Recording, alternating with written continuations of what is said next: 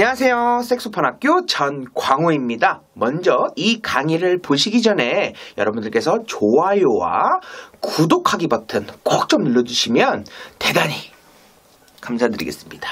구독하기 굉장히 저에게 큰 힘이 되거든요. 여러분들께 꼭 좀 제 부탁드리도록 하겠습니다. 자, 오늘의 첫 번째, 오늘 강의는요, 소리 떨리는 것 잡는 방법 에 대해서 말씀을 드릴 건데요. 소리가 떨린다. 우리가 소리가 떨릴 때 굉장히 여러 가지 증상들이 있어요. 여러 가지 증상들이 있는데 그 떨리는 이유가 참 여러 가지가 있습니다. 증상도 여러 가지가 있고 이유도 여러 가지가 있는데 오늘은 어떠한 이유 때문에 이렇게 좀 떨리는 건가? 그리고 이 떨리는 것을 한 번에 잡을 수 있는 방법은 어떤 것인가에 대해서 좀 말씀을 드릴 건데요. 먼저 소리가 떨리는 것은 어떻게 어, 어떤 것이 소리가 떨리는 거라고 얘기를 하는가 먼저 한번 해보겠다. 제가 말씀을 드리면요.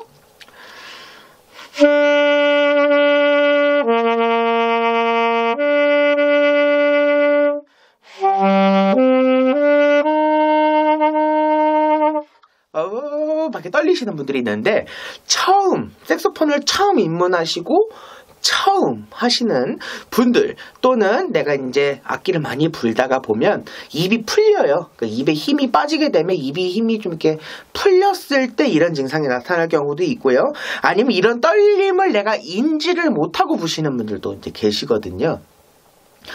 어, 제가 봤을 때는 원인은 하나라고 봅니다. 바로 호흡이에요.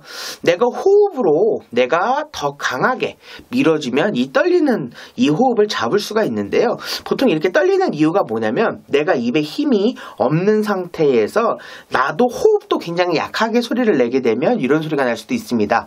언제 어떤 분들은 입에다가 힘을 꽉 쥐면 된다라고 얘기를 하는데요. 이 떨리는 것은 처음 색소폰을 처음 하시는 분들 초보이신 분들 분들은 주법에 힘이 많이 없어서 근육이 아직 안 잡혀 있어서 그렇게 소리가 떨리는 경우 가 이제 있고요. 또 이제 중급 조금 이제 색소폰 하신 분들이 연주 중에 입에 힘 풀렸을 경우에는 내가 너무 많이 불다 보니까 입에 힘이 이제 근육이 풀렸을 경우가 있는데요. 고를 때 이제 두 가지를 좀 크게 좀 말씀을 드리면 먼저 처음 초보이신 분들이 소리가 그렇게 떨렸다 했을 경우에는 내가 더 큰 소리로 내가 소리를 내는 롱톤 연습 또 냉 연습을 통해서 그 또 소리 떨리는 게 잡힙니다. 얼만큼만 하면 약 3일 정도만 매일매일 꾸준하게 2시간 이상 연습을 한다면 그 떨림이 잡힐 수가 있어요. 그래서 여러분들께서 그렇게 연습을 좀 한번 해보시면 되고요. 이렇게 뭐 이렇게 됐을 때 소리를 더 크게 하면 훨씬 더 소리가 깔끔하게 나면서 떨, 소리가 떨리는 것이 잡힙니다. 그러니까 내가 인위적으로 잡으려고 하는 것이 아니라 스스로 잡혀요. 스스로 잡히기 때문에 여러분들께서 그렇게 좀 한번 해보셨으면 좋겠다 하고요. 또 중급 이제 좀 색소폰을 하셨던 분들이 연습을 많이 하다 보면 입이 풀리는데 또 내가 불어야 돼. 그럴 때 어떻게 해야 되느냐? 내가 생각하는 것보다 훨씬 더 입에 힘을 많이 빼시고요. 그 다음에 호흡만 생각하세요. 호흡.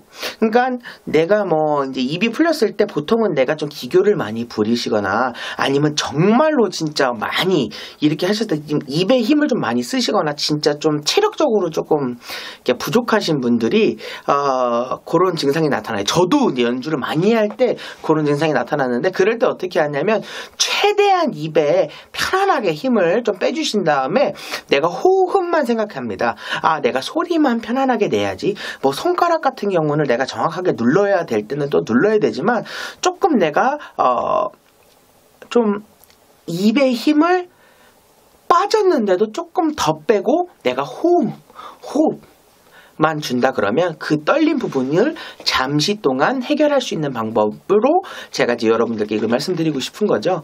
어, 이게 사실은 정답이일 수도 있고 아닐 수도 있지만 어, 오늘 제가 이 말씀을 드리고 싶은 부분은 뭐냐면 이 소리 떨리는 이 습관이 나중에는요 그냥 내 소리가 돼버려요. 그리고 내가 그 소리가 떨리는 게 어 내가 지금 비브라토 바이브레이션을 하고 있나? 비브라토를 하고 있나? 라고 착각을 하실 수도 있어요. 절대 그렇지 않고 정말로 입에 힘이 없어서 떨리는 거니까 그런 부분들을 충분히 해결을 하신다면 훨씬 더 좋은 어, 색소폰 소리를 색소폰 실력을 가지실 수 있다라는 오늘 강의 주제입니다. 그러니까 여러분들께서 또 강의를 보시고 다시 한번 구독하기, 그 다음에 좋아요 버튼 꼭꼭 좀 눌러주시고요. 굉장히 큰 힘이 되니까요.